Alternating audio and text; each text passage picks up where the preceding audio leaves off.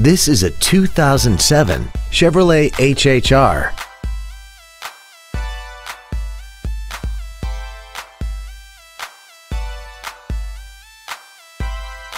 Features include air conditioning, cruise control, full power accessories, tinted glass, dusk sensing headlights, a passenger side airbag, a rear window defroster, speed sensitive wipers, and this vehicle has less than 73,000 miles.